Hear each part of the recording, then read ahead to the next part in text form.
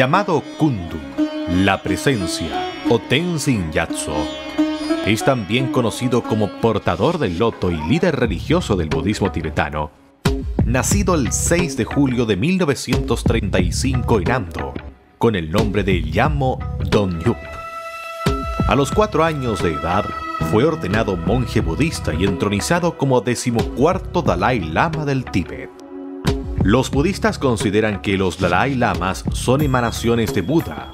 En 1954, junto con una gran cantidad de dignatarios religiosos y civiles, viajó a Pekín para mantener conversaciones de paz con Mao. Y en 1956 lo hizo a la India, donde pudo conocer al primer ministro Nehru, a quien le solicitó apoyo. Pero la crisis provocó la primera rebelión con China.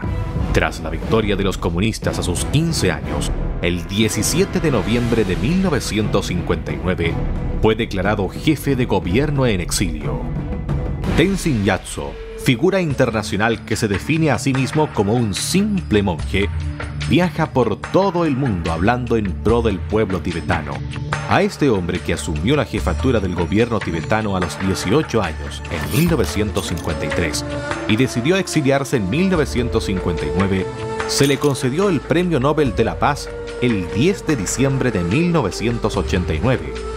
Conocido por su jovialidad, por su estilo enérgico y profundo, y por su sabiduría, un hombre que marca la historia de nuestro tiempo.